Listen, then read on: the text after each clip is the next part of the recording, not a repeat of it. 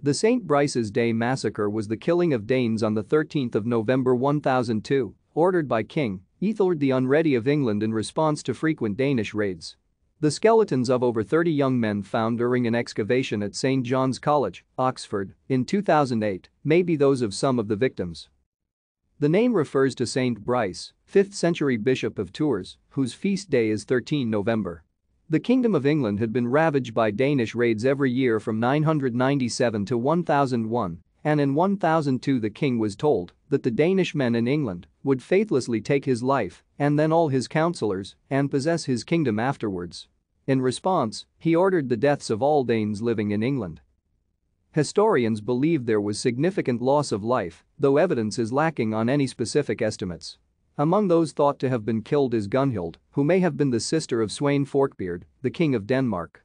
Her husband Pallig Tokesen, the Danish ealdorman of Devonshire, may also have died in the massacre or, according to a different version, played a part in provoking it by his defection to join raiders ravaging the south coast.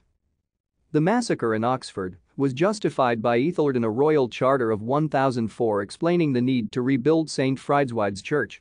The skeletons of 34 to 38 young men all aged 16 to 25, were found during an excavation at St. John's College, Oxford, in 2008. Thank you for watching. Like and subscribe if you would like to view more of our videos. Have a nice day.